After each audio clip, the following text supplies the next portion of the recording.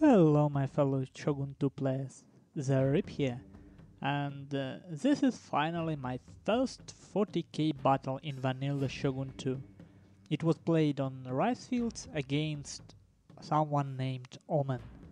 And uh, uh, compared to previous opponent, he was quite a pleasant uh, player to fight against. I mean, even your simple, typical good luck, have fun is. It makes games so much more enjoyable. That's why I try to be as polite as possible because, I mean, it leaves very good aftertaste uh, to play against uh, someone like Omen, for me at least. And uh, again, I can't really tell yet if he is a strong player or not, but he certainly does okay. He have a 60% uh, win rate, and he is somewhere in first 400, I believe. I checked up after the game. So, even though the ladder doesn't mean much, we all know that getting uh, up the ladder is much more difficult than falling down. And 60% is is a good win rate, I think. Uh, it's better than average, obviously. Okay then, and this is one of the rare vanilla fights I had where I actually have a plan. Let me start with my composition first and then I will describe my plan. My composition is quite simple. I have matchlock warrior monks and um, where is it? and mounted gunners for skirmishing. I have this Naginata attendants like a mid shield on uh, front. Then I have uh, quite a sturdy front line. I have a bulletproof samurai, but with only two upgrades yet. Uh, two Naginata samurai with two upgrades in defense each. And I have, I believe, uh, one Nodachi with two chevrons and uh, two Katana samurai. One vanilla, one with two chevrons. My general is some command attempt. He is very low yet. Then on this flank I have uh, Long Yari Ashigaru with two chevrons uh, and uh, Naginata Warrior Monks. And I have one more Naginata Warrior Monks hidden here. Uh, one and two chevron uh, attack upgrades, I believe. So I plan to present a strong uh, infantry force in the middle and get some flanking contingent. These Naginata attendants are meant to get this farmhouse for me. My cavalry contingent isn't weak as well, and it's uh, mounted gunners, two Naginata warrior monks, I believe. Yes, it is. One Yari cavalry and two light cavalry units. Uh, so let's take a look at my opponent, and the instant I have saw his army, I had a plan just because I saw some tournament games before and I know how uh, the weakness, uh, what's the weakness here. Let's start. Uh, he has Naginata attendants, Naginata attendants, two caps dodgers. He have uh, shown three Yariki and uh, one uh, light cavalry. So his cavalry contingent is actually quite scary, but they are not very highly upgraded. So I think I can deal with them. And here it is. He have two more Naginata attendants to cover his front. He has bow warrior monks, uh, like warrior monks, and like samurai. So it's three skirmishing units he have, which means all his infantry is Naginata warrior monks with uh, seven upgrades, Long Yari Ashigaru with nine upgrades, uh, Naginata Warrior Monks with 7 upgrades, uh, and 2 Naginata Samurai with 8 upgrades each. So it's only 5 strong uh, infantry units. Only 5. Compared to my uh, 6, 7, 8, 9. Of course, my units are weaker ones, right? But uh, there is just so many of them. So my plan is what I, uh, from the beginning, I wanted to skirmish a little bit with my mounted gunners to lure him closer here, so that my matchlocks can shoot uh, from a side I don't want to use them on the front anymore because of these uh, bows. And when I get make sure that I somehow isolated his cavalry, I will just rush him from the all, from all the sides. Well, more or less, I didn't have a clear plan because, as I told before, I can't really measure the strength of units, and I don't really know how strong this Yari cavalry contingent is. So let's take a look at how it goes. I try to do something with my mounted gunners, and somehow he charges right at the moment when I try to uh, scare his bows away, and uh, because of this charge, I have to control my cavalry much more intensively than I wanted, and I forget about these two light units, uh, light cavalry units, so they get decimated here. Uh, at the same time, this um, unit of light cavalry decimated as well, so it's two light cavalry units for one, uh, for no reason. But at least I managed to control my uh, Naginata Samurai to stop this charge of Yari cavalry, so I protect my swords and somehow zone out his cavalry from here. And uh, what is... I will stop this for a second. Uh, despite me losing my light cavalry, I still managed to get uh, some results here. Well, first of all, uh, he had to send one uh, unit of Naginata Samurai to face this long Yari Ashigaru and Naginata Warrior Monks. This is two very scary units, even though they're not upgraded, they can kill. So he have to send one strong unit to protect his side. And uh, look at this. Cavalry fight starting, so he have to manage it. And at the same time, because of this light cavalry, his uh, middle is completely in complete mess. You see, all his units are out of they they do they just uh, as I said they in complete mess. And what what that means is he cannot use his uh, matchlocks and bows as effectively as he want. Just because I messed up uh, his forces here. So he tries to somehow engage here, I don't know. Maybe he wanted to use this Naginata Samurai against my cavalry. And here, my matchlock is actually getting some very expensive kills. But, oh no, not, not very expensive at all. So let's take a look. Cavalry fight starts and this is seemingly, uh, from what I can tell, this is difficult for us both. I'm not very um, good at controlling uh, vanilla armies because I don't really have a plan which unit should attack which unit, I don't know. And here, as you can see, I kind of mismicroed. Uh, he cut my cavalry off from my general and my mounted gunners. And I have to run, and at the same time, when I looked at this, I noticed that uh, my mounted gunners and my general actually fast enough to run away. And I decided, what the hell? Uh, and I just sent uh, my uh, two Naginata Warrior Monks and my remaining, my Yari key, even so it's depleted, I sent them here, in, I try to use them in the main fight, while my general and mounted gunners run. I just hit here. And you see, just because I have so many units, and look at this.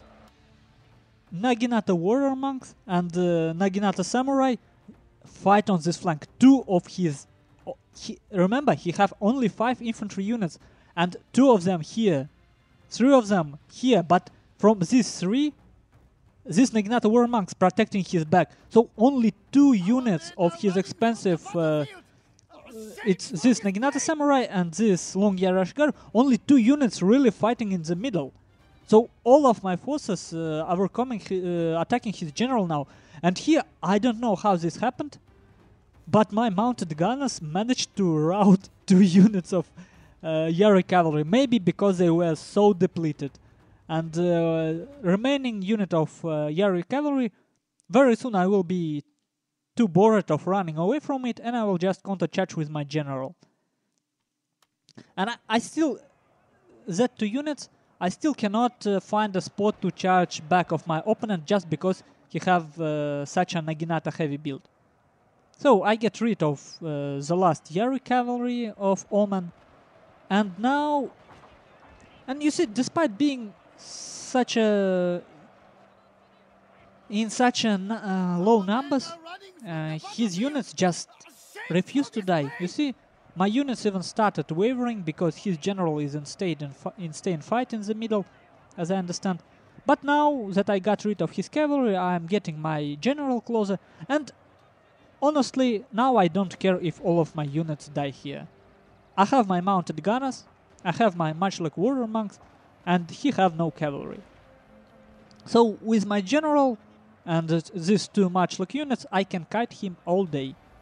But it it wouldn't uh, it will not be necessary uh, because slowly but surely I'm getting to his general. But man, this level 8 units, they just refuse to die and that's... You know, this is partly why I prefer Fall of the Samurai. Just because it's much clearer. You win a fight by positioning. In uh, Vanilla Shogun 2, you still win by better positioning, but bet by better control. But sometimes there are some he can pop up something like um, how how does it called? Stay firm. I, I don't remember. He can pop up some of that ridiculous skills, and uh, they don't route. I mean, what the hell? It's like uh, some cheat. I mean, uh, I understand that everybody can have that skills and uh, they are very expensive. Uh, you have uh, it's a nine level skills, but still it somehow reduces the importance of um, positioning. Even if I have a clean back charge for uh, with my cavalry, for example, it doesn't matter. Uh, he have a hold firm and he will not rout. He have banzai, he will not rout. Uh, oh, by the way, uh, I don't know if you noticed or not, but I'm awful with my nodachis. The, I I'm not sure if I uh, he, uh, remember to hit my banzai even once. Uh, I always forget that. I think I will just pop it up at the beginning of the fight, uh, just not to forget it. Ah man. And there are a lot of things that I don't understand. For example, uh, Boki and this mounted gunners they they never shoot at the target uh, that I order them to. They choose. Uh, they always shoot at closest target possible, uh, which is strange, uh, very strange. I don't know if it's intended behavior or a bug. And man, uh, this Omen, he understand what this game is about. In the end, he wrote, "Well played, GG." I mean, that's what you do because if I lose game, I usually write GG just because it's a game. If you got overplayed, you got overplayed. Well, maybe sometimes I I don't do that. Yes, we all get frustrated. But I like this guy. I like him. so, 300 man difference. Uh, significant difference and uh, um, difference in kills are only 150 and uh, that's probably what won me the game. That and uh, look at this. Omen look at this. Matchlocks 60 kills. Bower monks 50 kills. Matchlock um, 40 kills uh, they say that uh, skirmishing is uh, very weak currently in uh, Shogun 2 and uh, that is um, probably true well at least on this low level games. Uh, I mean I don't know how high level I don't know. I feel like I was just kind of lucky. I have seen a weakness in a build of Omen and I just pushed that weakness I, mean, I kind of, uh, as you can see, I didn't rush him right away. I wanted him to engage into the cavalry fight. I wanted him to have this uh, mm, melee mindset because with skirmishing build you want to delay a fight, but it's psychological thing. When you start uh, running with your cavalry all around, you feel like you need to do something with your melee, and uh, when your opponent rushes you, and when I, I did exactly that. At some point, I I rushed him, but he already changed his mindset. Instead of kiting me, he took the fight, and um, that is just what I wanted. My numbers were so overwhelming. He got um, two of his units. He had Naginata Samurai and Naginata Warrior Monks. I don't know which one. This and this, I think. Yeah, these two on his left flank.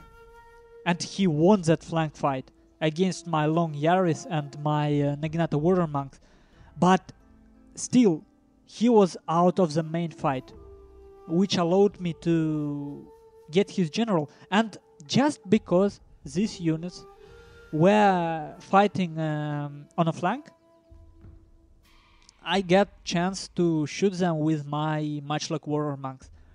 Uh, there is one more thing uh, I noticed in Vanilla Shogun 2, Warrior uh, Matchlocks don't really want to shoot at the back of your own man. I mean, in Fall of the Samurai, you can basically shoot through your own units. Uh, but here sometimes they just don't want to. Uh, which is why sometimes uh, you want them on the flank. Uh, you want them shooting at some uh, side skirmisher, skirmishing. My mounted gunners did uh, quite well. I, I, I still don't understand how they routed those two Yariki, Yari cavalry uh, two of them, uh, I don't understand really. But they killed uh, surprising uh, kill count surprisingly low. Look at this. I don't understand. Maybe oh, maybe they were in guard mode and had an order to attack my general, something like that. I don't know. I don't. I really don't know how they were routed by mounted gunners. Um, I don't understand it. Maybe I will look over this replay more. Yari Cavalry did surprisingly well. Yeah. But overall I don't understand uh, this game. It's this time it seems like I won by numbers and uh, by making these three units absolutely ineffective.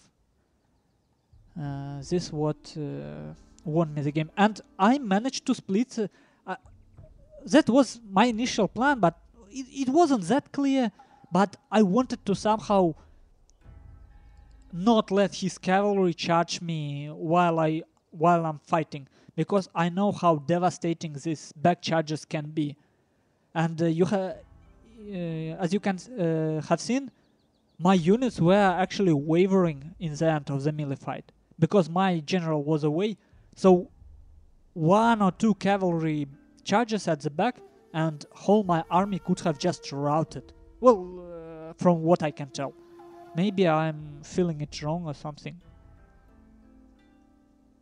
Well, this is so far one of the best uh, games I played in terms of uh, understanding what is actually happening on the field. And if I have more meaningful games, I will probably show it to you. And uh, that's all I wanted to say about this game. Thank you for watching and I hope to see you again on my channel.